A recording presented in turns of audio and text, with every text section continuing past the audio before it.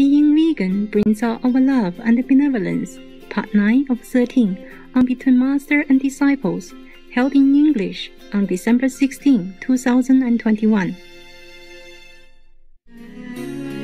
Bàn lòng ơi, ngày ấy tôi mang cây đàn, quen sống ca vui bên nàng, này khóc duyên lìa.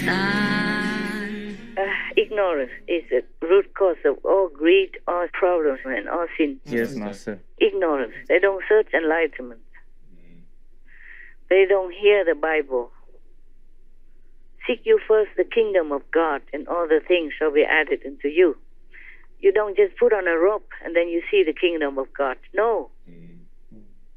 You can see the kingdom of God in your bathroom, in your birthday suit, naked in the bathroom, even. Hmm. If you do really seek, hmm. if you have someone who helps you hmm. to tell you how, and then you can see God right away. Mm-hmm.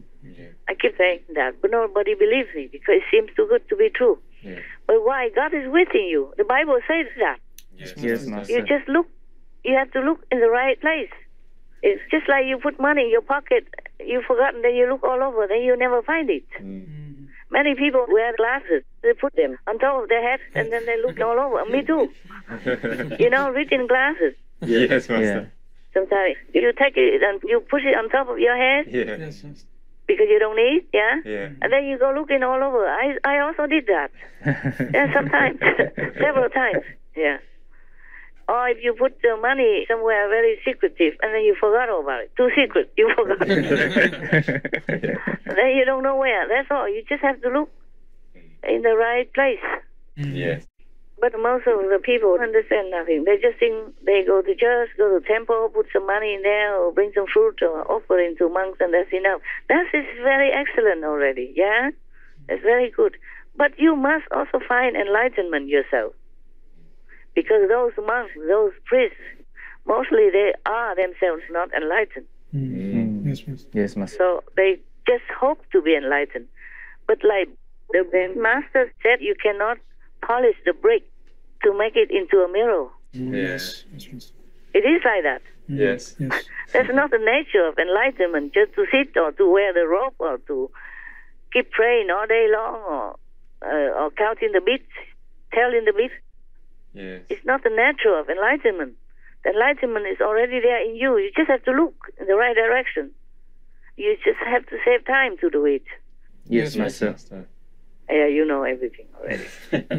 I'm talking not just to you, okay? Yes, Yes, sure, yes. I'm talking to the angels who are watching, listening to the saints and sages. Thank you for visiting. And to the people outside, their souls are listening. Yes, Yes, Master. Master. All the people, all the animals, people, all the trees, the streams, the rivers, the oceans. I'm talking to all of them, Wow. to the stones even. They all have souls. To the COVID even. I tell you a secret. Uh, just one moment. I ask if I can.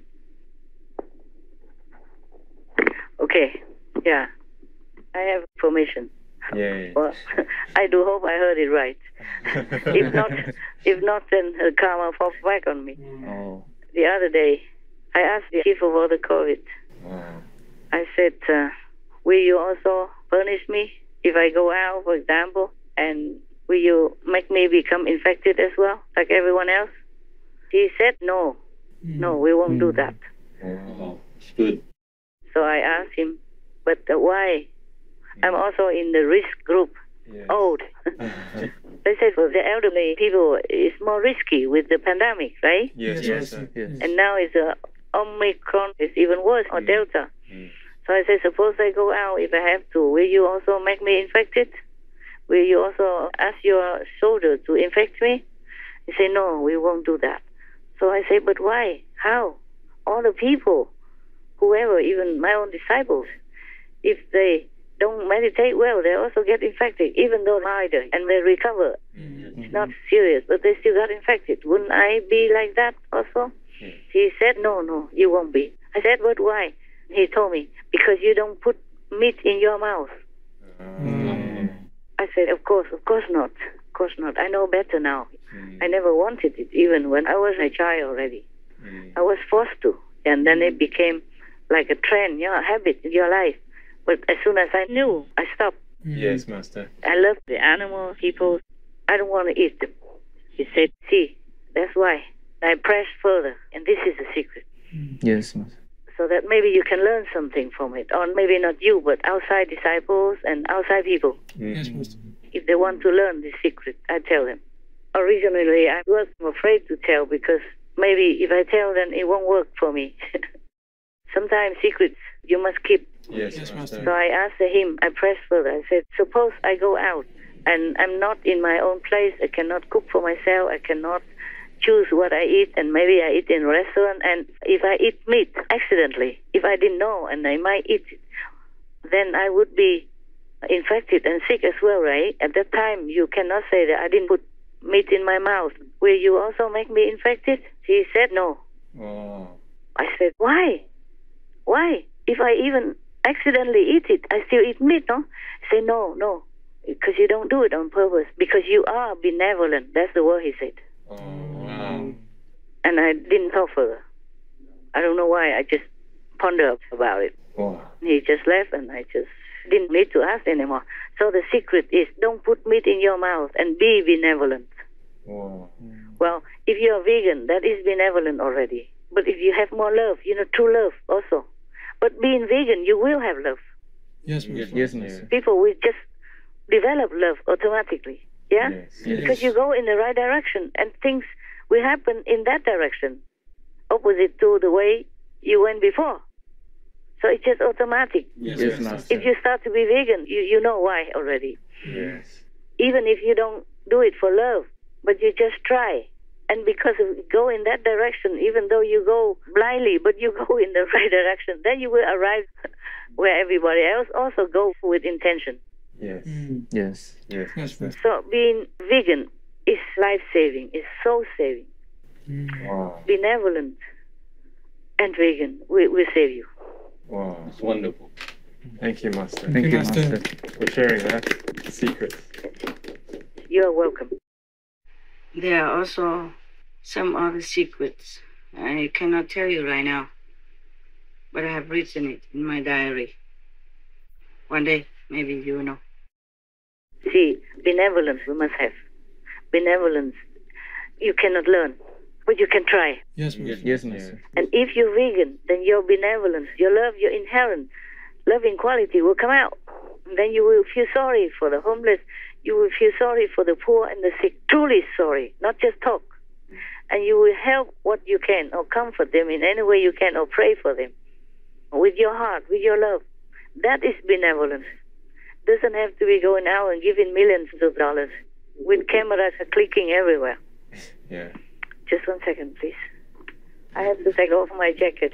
I went out before and then came back in to do the conferences. I didn't want to take it off to keep warm. Yeah. Now with an adrenaline rush, I'm too hot. I have to take the jacket off. Um, so remember, vegan and benevolent, Yes, Master. feeling sorry for others. Even if you don't think you have it, you just try to imagine. For example, the homeless man, he sleeps under the bridge. He sleeps in a carton box. He probably did not have a meal that day because nobody gave him any money. He doesn't have a blanket. He has no cover, no protection from the elements, from the cold wind. Imagine if it's you. Because you go out in the yard or in the street and you know how cold it is Yeah. even if you're fully protected by a big coat. So imagine you are that homeless man, then you feel a little sympathy. Mm. Just imagine really like that. Imagine hard. food, being hungry, where that where where our next meal's coming from. Um, you really don't know what what the next day is gonna hold. You really live day by day out here. Some days you just want to cry yourself to sleep because you feel helpless and, home, and, and, and hopelessness. I had one of those points where why why am I out here and I try to kill myself because of it. I didn't know why I was out here. I was I, I, I I didn't want to live this life. For me, being being homeless in the wintertime was horrible. I wouldn't. I, I wouldn't wish that on my worst enemy, man. This is the worst thing I could I could possibly think of because it, it's not fun. It's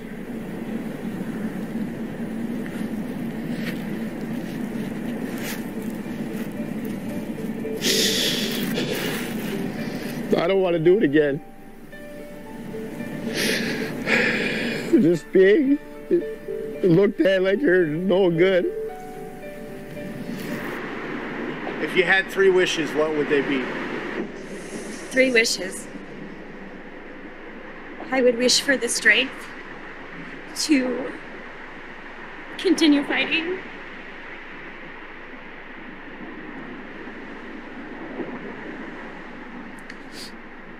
Would wish that others could get out of this too. And I'd wish for understanding and compassion for everybody, like just knowledge. I guess. Three wishes are hard. Well, They're hard not to take for yourself. Or imagine that you are the child that's being raped by the big fat priest with no one else there to rescue you. You mm. can't even talk. Yeah. He crushes in you. Yes, miss. He crushes you. You probably could not breathe, being so tender and so delicate. Yes. Yes, Master. And he's so big and fat and looks mighty and powerful, and you're scared to death.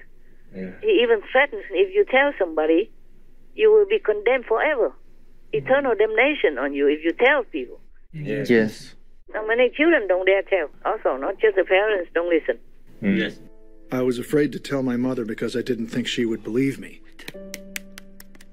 She'd say a priest would never do something like that to children. I kept it a secret.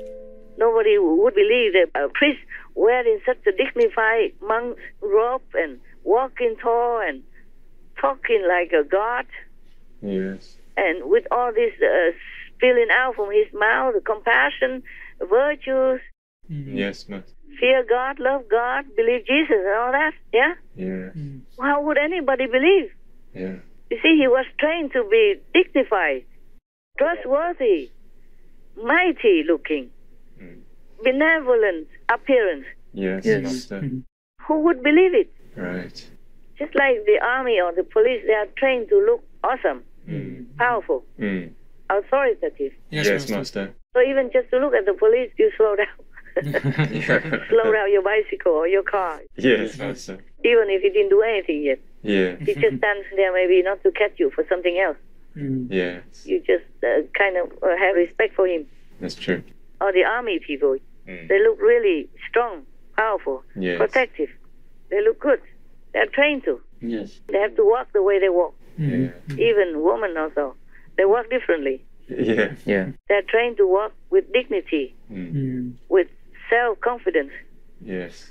They look very awesome Yes. and young and enthusiastic and well trained for many aspects, many talents. Yes. mong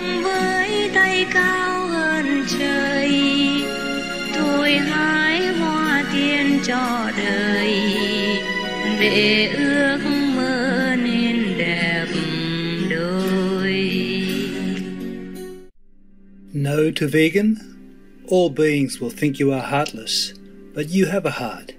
Just change to a real good one.